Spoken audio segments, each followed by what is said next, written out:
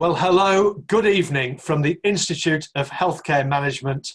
Once again, my name is John Wilkes. I'm privileged to be the CEO of the Institute. And this evening, what a sensational webinar we've got for you. We've got the fabulous Kristi Adams from Atigo Coaching and Development, who's going to be talking to you about how to be your best, and more importantly, perhaps, how to bring out the best in those people around you. I've, I've been looking forward to this for weeks. We've got loads of you on the call this evening. We will have a Q&A at the end of this. So Kristi's going to speak for around 20, 25 minutes, something like that.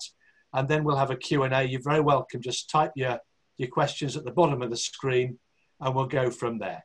So I'm not going to say any more because you haven't come to listen to me. Kristi, over to you. And thank you once again for doing this for the Institute. Thank you, John, and good evening, everyone. John, can I just check that you can hear me okay? Beautifully.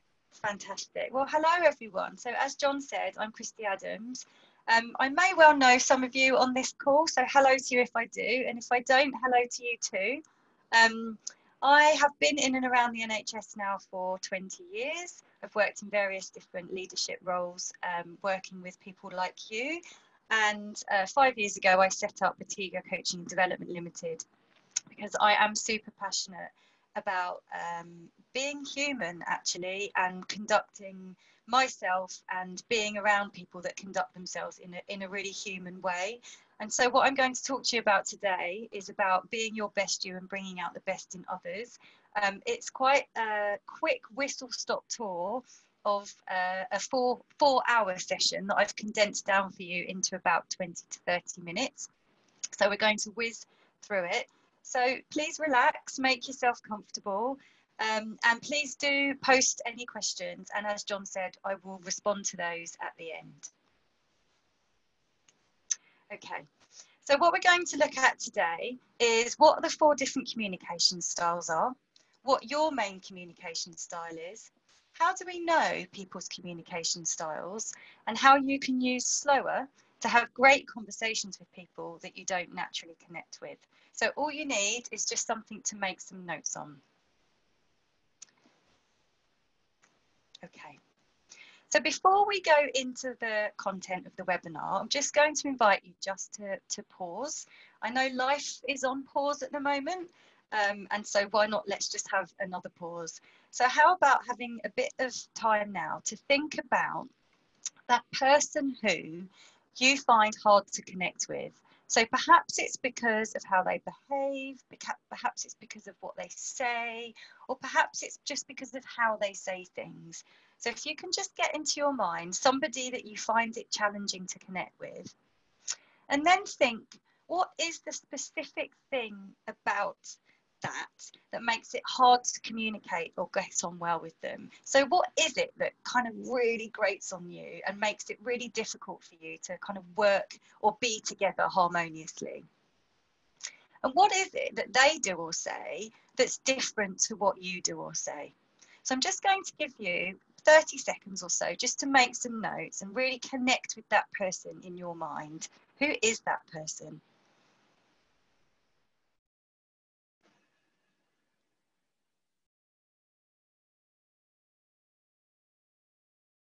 Okay. So I'm pretty sure that each and every one of you has got somebody in mind. Now, it may be that it's a colleague, it may be that it's a family member, uh, it may be that it's a friend. Whoever it is, it doesn't matter. But I want you just to keep that person in mind as we go through this session by the end of the session, the aim is that you will have some, um, some thoughts, some tips, some techniques about how you can perhaps manage your interaction with them differently so that you feel better and you get more what you need from it and that they do too. Okay, so some of you may have come across this before, the DISC personality and communication styles profile. If you haven't, that's okay. And if you have, this is going to be a really nice consolidation for you. If you haven't come across DISC, you may well have come across Myers Briggs or other personality profiling tools. Personally, I work with DISC, which stands for Dominant, Influencing, Steady, and Compliant. And the reason I work with DISC is uh, because I like colours. And so DISC can um, translate into colours, as you can see there, and I'll talk through with you in a minute. And also because personally, I find it the most, uh, the simple um, profiling system to use. So when I use it with people, I would send them a link and they click on the link. It's an online questionnaire that takes about 15 minutes and then it provides a report and I share the report with people. So you can use this for individuals and you can use this for team development as well. So as I said, this is a whistle stop tour. So I'm just going to talk you through these four different communication styles. So on the top left there, you've got the D, the dominant person, okay? Um, the I is the influencer on the top right. The bottom right, you've got the steady person, and the bottom left is the compliant person. And the thing to tell you about DISC is what we know is that people with similar styles tend to behave in similar ways and actually tend to use the same language, the same words as well. And we are all a mix of each of these, and I'm sure you're already starting to think that. So we aren't only one way of being. We aren't only one type in our communication, but we certainly, most of us at least, in fact, everybody I work with, has a preference. And if we understand the different styles, we can really have a profound understanding, not only of ourselves, but of each other, which can really help us um, have better conversations. So in the top left, you've got the dominant personality style. And if you are this personality style, and certainly if you work with somebody of this style, you'll know that the dominant person is very outgoing.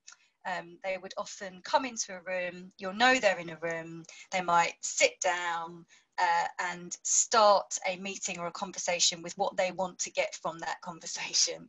So they're quite dominant, they're quite results driven, direct, perhaps competitive, very focused, very focused on the task, not focused on the interaction particularly or the conversation, but focused on what we're going to do, how we're going to do it. And in some circumstances, the dominant red person will say, actually, this is how we're going to do it, um, and has no qualms about kind of confidently saying that. So if that's you or you know somebody like that, you'll connect with what I'm saying here. Now, perhaps the person that you're finding it difficult to connect with has that style. Let's have a look at the I, which is the influencer, the yellow. So in the same way that the um, the D, the red person, is quite outgoing, so is the influencer the difference between the D personality style and the I personality style is that the influencer is far more focused on relationship building, conversation, and perhaps chat. So a D is likely to um, want to have an interaction, perhaps in a boardroom or in their meeting space that they're comfortable with, perhaps even in their own office. And I, not so fast, probably wouldn't mind having it in a coffee shop, maybe in the communal kitchen. They don't mind where they uh, they do the work, as long as the work involves um, interaction and um, and and really strong communication.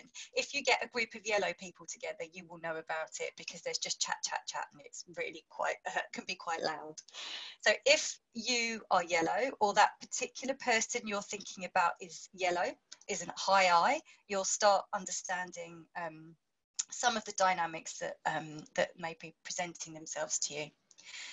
Bottom right, you've got the S, the steady person. Now, this is somebody who is also people orientated in the same way as the yellow, the high influencer, but actually really different from the D and the I because much more reserved. So what you'll find is the D and the I will be in a room, be confident, they'll they'll want their voice heard. Um, they're very happy generally to be the centre of attention. The S is the complete opposite. So this is somebody who focuses on being steady, on being calm, on being secure, sincere, patient, modest. So they will very, very rarely be the first person to speak in a meeting or in a group um, they really need to consider what they're going to say before they say it. The most important thing to the to the Greens, um, to the steady people, is that the environment is comfortable and that everybody around them is comfortable and that they are comfortable. So they're not focused on the conversation; they're focused much more on the environment and what's going on around them and you can see that I've lowered my voice a bit. So the D's and the I's, they speak much more confidently, more loudly, What you'll experience with the greens, the S's, and the blues, the C's, is that they speak more perhaps more slowly, certainly usually more quietly.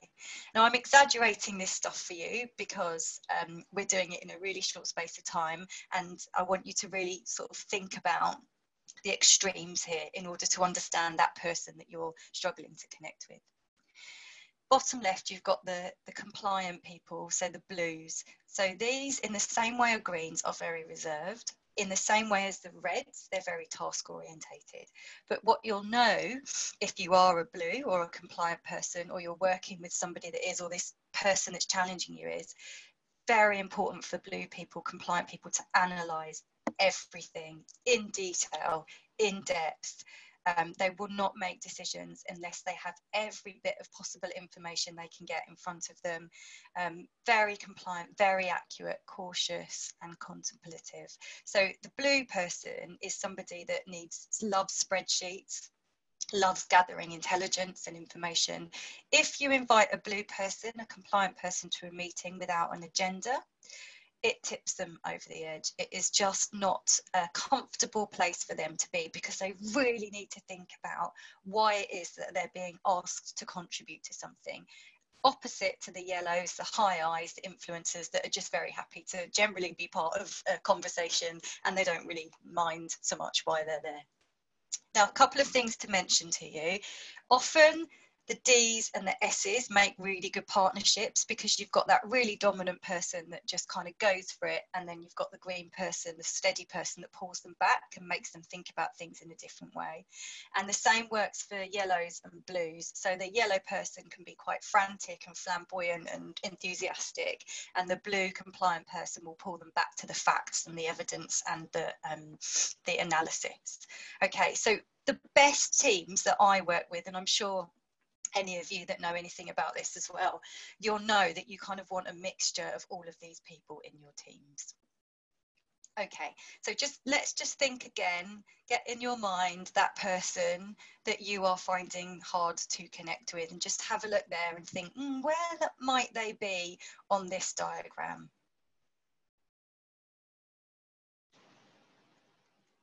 Okay, so this is similar information but presented in a different way because not all of us see things in the same ways and like the same information presented in the same way.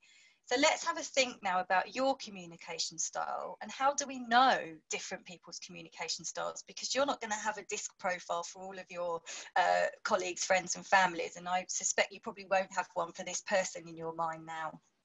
So, on a bad day, this can be how we appear. Okay, so a red person, the dominant person, can appear aggressive, controlling, driving, overbearing, and intolerant. So if that's the person in your mind, you'll be thinking, oh, yeah, absolutely, that's what happens.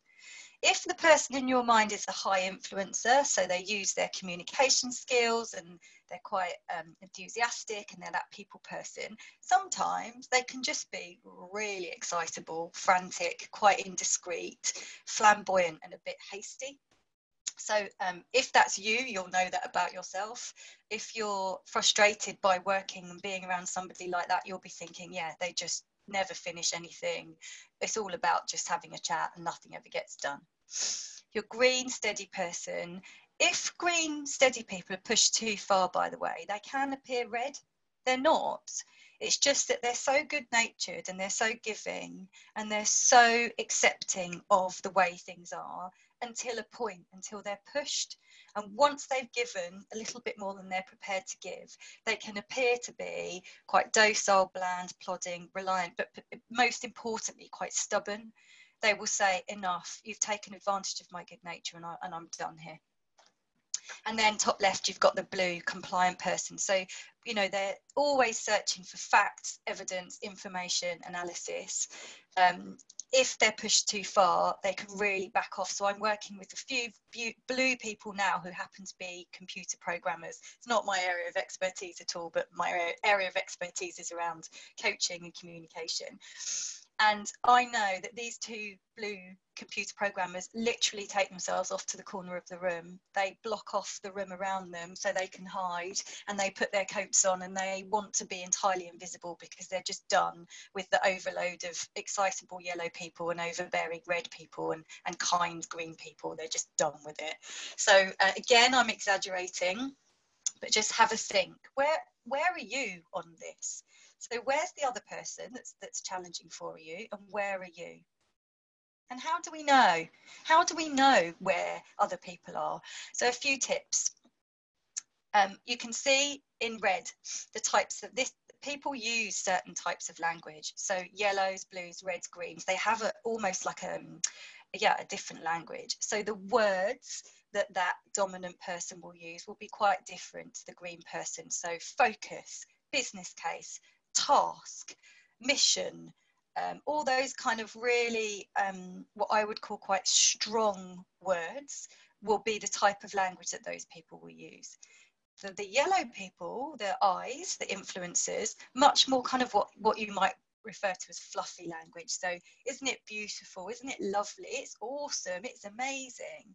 Now, if you're somebody that's focused on task and business case, quite difficult. If somebody is saying to you, Oh, isn't it beautiful and lovely? Because actually, that's just not working for you.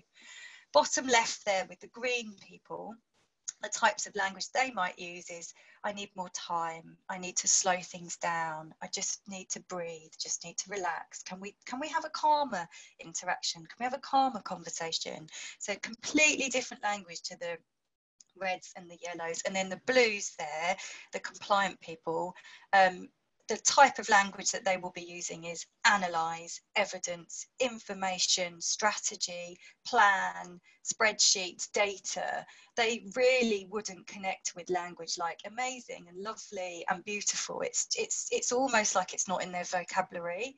So again, I'm exaggerating, but just take a moment and ask yourself, what's the language that that person I'm finding hard to connect with uses?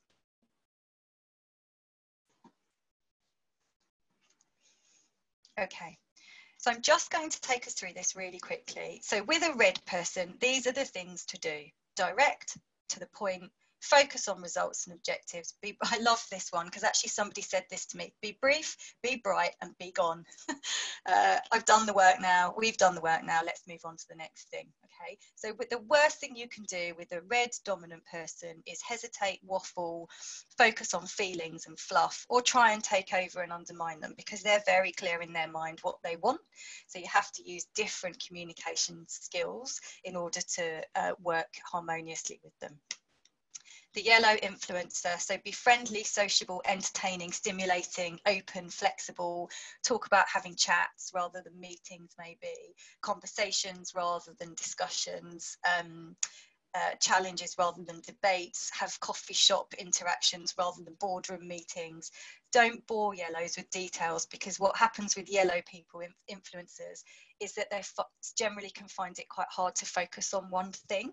And so the, the skill for you working with yellow people is to bring them back to what the conversation is supposed to be about. If you bore them with details, they'll just go off somewhere else don't tie yellow people down with routine because that just doesn't work for their brains. Their brains aren't wired like that. They need some creativity.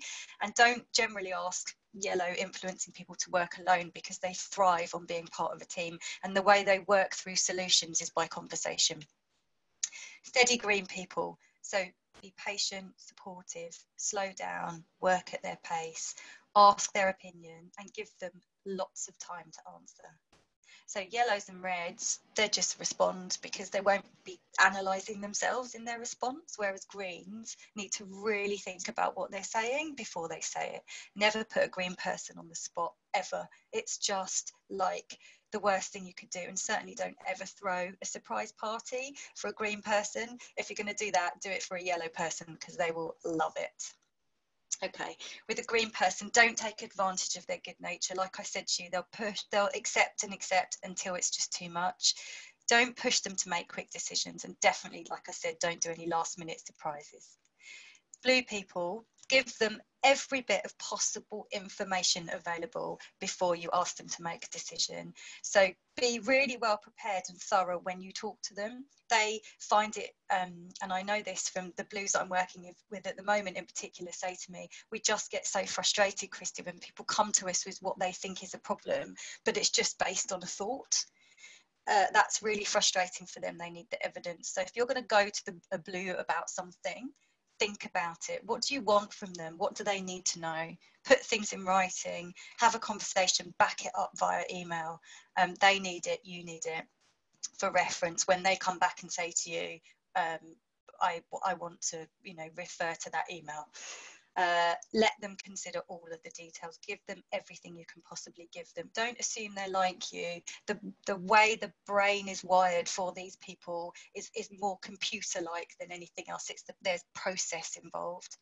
Don't get too close or hug blue people. Look, there might be some blue people that love a hug, but just be aware that not all of them will do. Yellows probably do. They quite like a bit of tactile um, interaction. Definitely don't be flippant on important issues.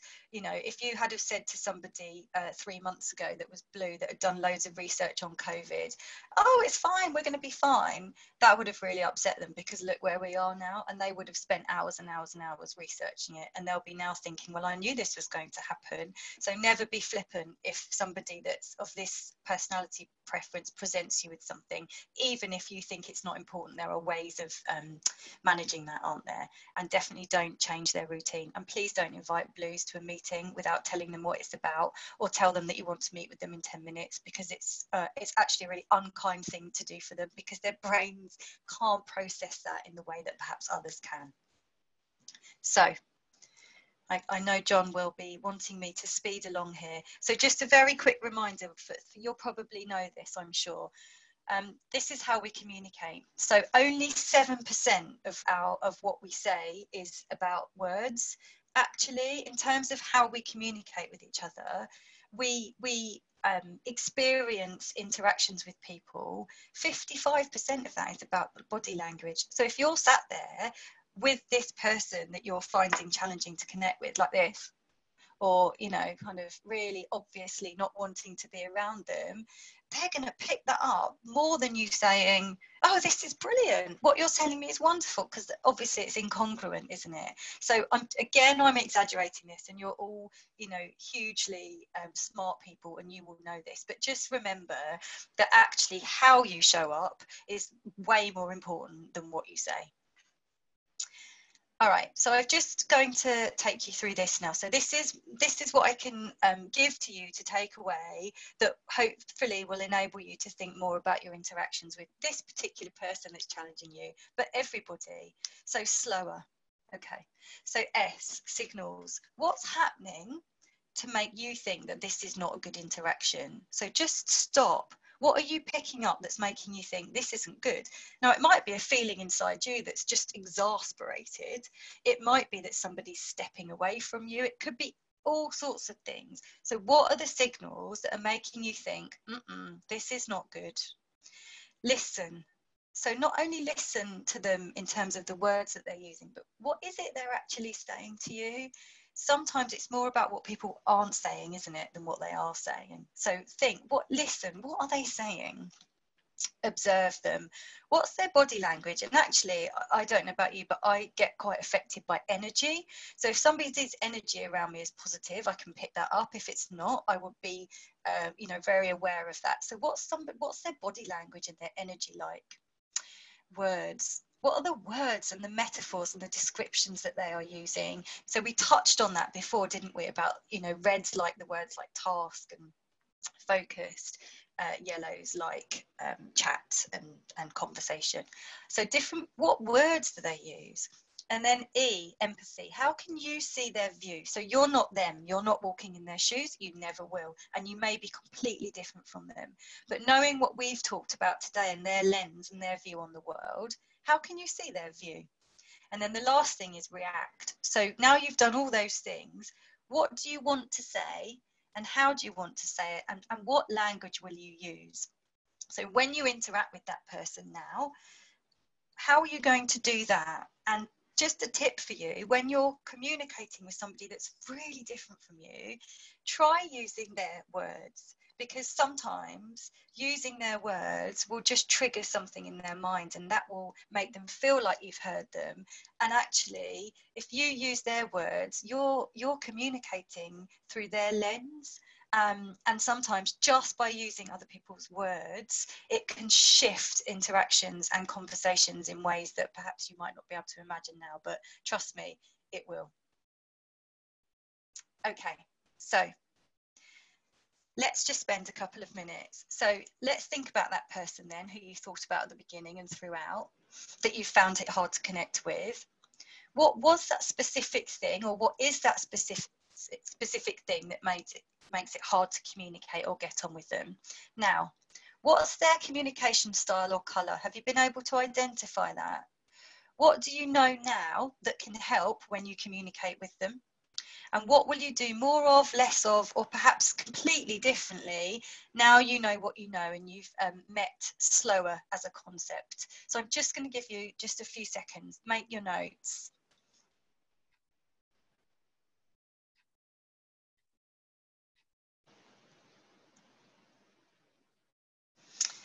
So I'm really excited about the Q&A because I'm hoping there'll also be some reflections from you about um, the shifts that may have happened in, for you in the last 20 minutes or so. And I'm particularly interested to know some of the things that you, know, you might have had a light bulb moment and thought, that's why that person and I just don't get on because we actually speak a different language. So what is it that you're going to do differently? I'm super intrigued to find out. Okay, so these, just a reminder, this is what we did. We looked at the communication styles, your communication style, so hopefully you've got a bit of an understanding about that now, um, perhaps more so than you did before. We know about different people's communication styles because we're going to go through um, the the process of listening to them and identifying the words that they use, the metaphors, the things that are important to them. And hopefully, you now will have an idea about how to use slower as a way of um, starting to have great, certainly better conversations with people that you don't naturally connect with. Okay, so please do keep in touch. I know we've got some time together now. And just to kind of highlight to you that this is 30 minutes of a three day program, which can be standalone days, it doesn't have to be three days, um, about how to be your best and bring out the best in others. And it covers all these things here um, so do get in touch if you want to know any more about any of these things here. I have to tell you that the disc profiling, I've put a little smiley face there for you, your team or your family. I've actually done this on my family members. My husband and I did it and it was, we've been together 21 years um, and it was quite life changing. So if you want to understand more about yourself and your family, then this is certainly something that you may be interested in. Maybe even just share these slides with them. Um, and there's all my contact details there. So thank you for listening. I hope that you got something from that. And John, I'm going to hand over to you now. Super duper. Well, thank you, Kristi. What a what an intriguing session, because I, I always think that when we're in leadership or influencing positions, it's always tempting to think that the way we look at the world is the only acceptable way. And I think what you've managed to tune into is this business of being self aware is such an important uh, attribute for people to have so that they can interact more fully and closely with others whom they're aspiring to lead, perhaps. Uh, we've got loads of questions, so you're going to have to be fairly rapid fire with all okay. of these. I'm going to take, take a sip of water. Have a sip of water. So the first one is from, uh, is from Tom. And Tom says, can people change between different colours? Is environment or situation an influence on this? Can you influence this and move people? And he goes on to say, which is why I've not given his surname. He works with a grumpy, unempowered red. Oh, Tom. Tom, my friend, you have all my sympathies. Um, don't know what colour you are, Tom, but I think a grumpy red is, is always a challenge. So um, the short answer is yes, you can move from um, one personality preference, dominant style to another yes, you can support people to be aware of um, the colours that they're not, so they can build more of that into themselves. Um, the thing I would say about it is that it takes a huge amount of self awareness and um, desire to want to move to another personality um, state. So you can uh, by doing what we've been doing here, think about how to see things through another lens. But if you're asking me if I could work for an hour or 10 hours with your grumpy red and, and turn them green, I absolutely couldn't do that. But what I could do is um, through this type of interaction and conversation, make them realize that actually their way is one way and there are, there are plenty of other ways and views and lenses on the world. I hope that helps you, Tom. Thank you. That's a great first answer. There's a there's another. It's almost like a collection of questions that I'm going to try to. I've I've seen Mwamba's uh, question, and I'm going to use theirs as the basis for this. I think so. Uh, Mwamba says, "How do you make sure that you're not using the language of the person with whom you're interacting, and thereby losing your own?" And they say, "I sometimes feel like I'm having to change mine." To avoid conflict, which can be exhausting. Oh my goodness. Mwamba, did you say, John? Yeah, yes. hello, Mwamba, and hello to everyone else who um, had the same sorts of questions. Um, so, there's the most important thing about being you is being you and being your authentic you. So, at any point you step out of your own shoes and out of your own power, you've lost yourself and you've lost your ability to be who you are and how you are meant to be. So I think there's a balance to be struck, isn't there? There's a balance between using your values and your motivations and your passion to have a conversation with somebody um, perhaps using a combination of your language and their language. So, what you don't want to do is try and become someone else because, quite frankly, don't bother. Everyone else is taken. There's no point trying to be someone else. But what you can do is, is kind of morph and merge your world or your lens of the world and theirs and you can use a bit of your language and a bit of, your, of their language and sometimes just using one word that people use repeatedly can really help so i've worked with somebody before for example, who's used the word structure over and over and over again. Now, I would never use the word structure. Uh, it doesn't doesn't flow for me. But because I knew that word was really important, I had a difficult conversation with them, being me, being bringing all of me to the conversation. But instead of using um, plans, I used the word structure, and it just changed it. So sometimes it's those tiny tweaks, isn't it, that are going to make a difference. But but never try and be someone that you're not because it just doesn't work. Okay, I'm going to move on now, Kristi, if I may. Uh, I think what we'll do, we'll go to uh, Colin. Colin says, Hi, Kristi. Being a shy, retiring yellow, as you well know, sounds like you know, Colin, what would you say are the most important aspects to consider when presenting or interacting with groups of people where you'll be engaging with a range of lots of different types of personalities? I guess that's most of us every day. So I guess what Colin is saying is there a technique or model for him to use so that he can uh, be, be more multifaceted in his ability to appeal to different coloured groups, if that makes sense? Yeah, thank you, John. Hello, Colin, and hello, and you know the rest of you may be thinking the same. How do I do this? This feels really complicated. How can I be one person one minute and one person? So don't just don't. I tell you that the most important thing in an interaction is listening. Just don't speak. Sometimes just not speaking will yield you the greatest results. So, from a coaching perspective, and many of you will have coaching skills, when we coach, us coaches only speak for 20% of the time. The coachee speaks for 80% of the time. And when I work with teams to support them to, um, to gel more as a harmonious team, we use that. So how could you use that kind of listening 80% of the time and only talking 20% of the time? So if you're in a in a diverse team where you've got people of all different personality types and you're trying desperately hard to um, to connect with them all and to you know to get the best results from for all of them and for you, sometimes the best thing to do is to just listen and once you've listened, really listened, you'll hear each of them use a word or words that are really relevant and important to them. So, structure. If that person keeps using the word structure when you have an interaction with them, you just throw that word in. Don't stop being you, just throw the word in. A flamboyant yellow needs to actually just sometimes shh, just listen, listen. Thank you, Kristi. And if, for those of you uh, who are interested in watching some videos around how to give effective feedback to people of all sorts of different uh, DISC uh, persuasions, you can watch me on the new IHM digital YouTube channel when I cover exactly that point. So I'm so thrilled, Chrissy, to be able to just drop a little advert in for that as well. Um, right, I'm going to try one more. I'm going to go to Ian, who says change is inevitable. So why do agents for change who put their heads above the parapet so often get shot down unless they have the courage of their convictions? Now, I'm, I'm guessing before it comes to you, Kristi, that I guess the answer is here. If you're an agent for change and you're going to put your head above the parapet, have the courage of your conviction. But over to you.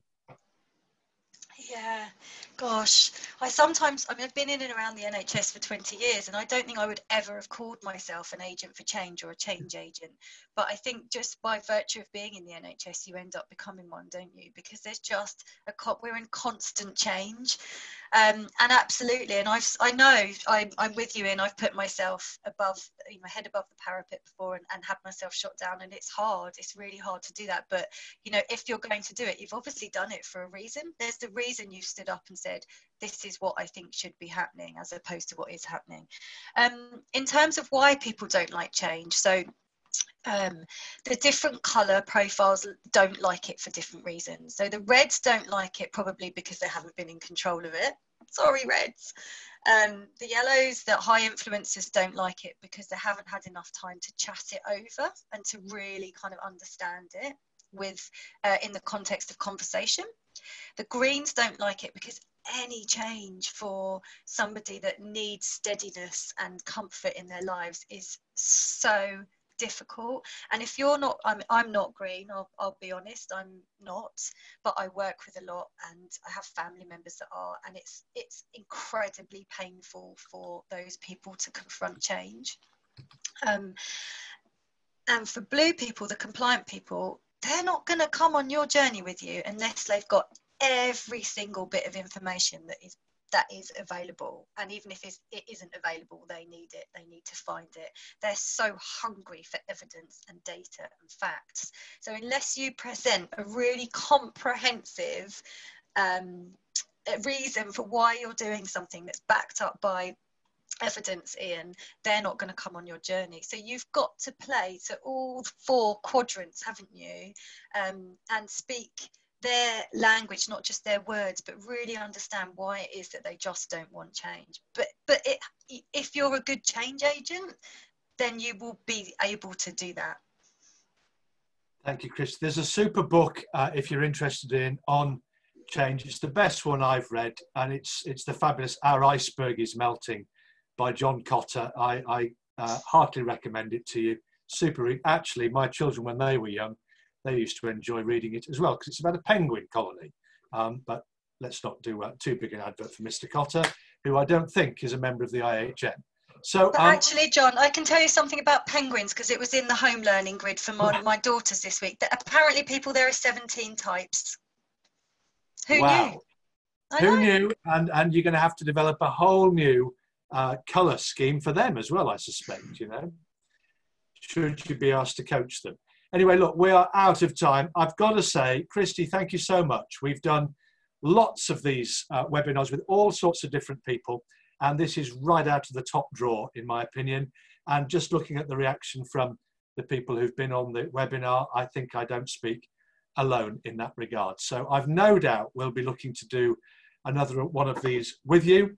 I should also say that we are looking to uh, work with Kristi's company to develop some IHM short course uh, content, and we hope to formalize that soon.